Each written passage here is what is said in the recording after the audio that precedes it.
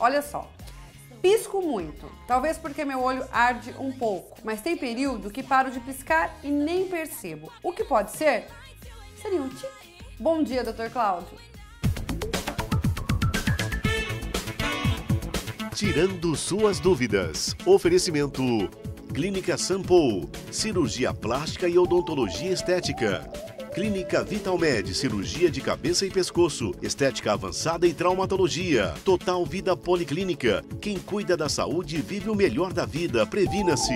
E Hospital de Olhos, sua visão levada a sério.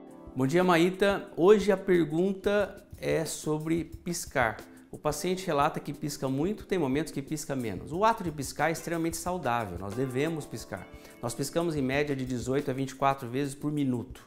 É claro que o uso de computadores, o uso de celulares, o ar-condicionado, o ventilador faz com que a gente pisque menos. Consequentemente, o olho seca mais Consequentemente, produz-se menos lágrima, lubrifica-se menos a córnea e aí a gente acaba secando mais o olho.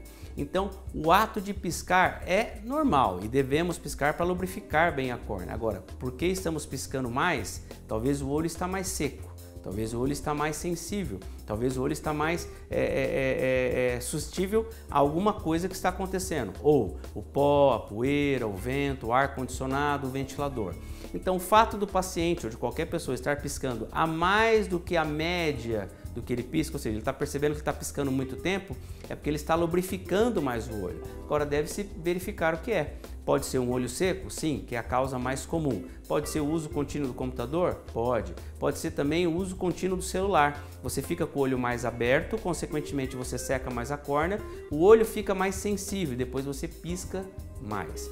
Então, o ato de piscar é importante, porque é uma maneira de lubrificarmos o olho, de estimularmos a glândula lacrimal, que fica aqui superior, a lubrificar essa córnea, porque a córnea e a conjuntiva devem estar sempre molhadas pela lágrima. A lágrima é um antisséptico, a lágrima é um nutriente. Ela vai nutrir a córnea, ela vai nutrir a conjuntiva, ela vai limpar a córnea e vai limpar a conjuntiva. Então, ela é extremamente saudável.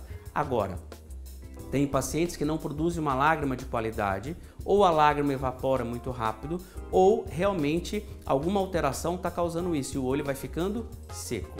Então nós devemos procurar sempre o oftalmologista quando nós temos qualquer queixa. Se está piscando demais, tem que ir ao médico. Está piscando menos, tem que ir ao médico. O olho está seco, está irritado, está incomodado, deve procurar o médico oftalmologista. Agora, o ato de piscar a mais do que a média que você está acostumado, Pode ser um reflexo normal, mas pode ser alguma coisa que está incomodando. Normalmente, o mais comum é o uso contínuo de computadores, celulares e o ar condicionado. Agora, deve-se lubrificar o olho, fazer compressas de água gelada em casa ou no trabalho.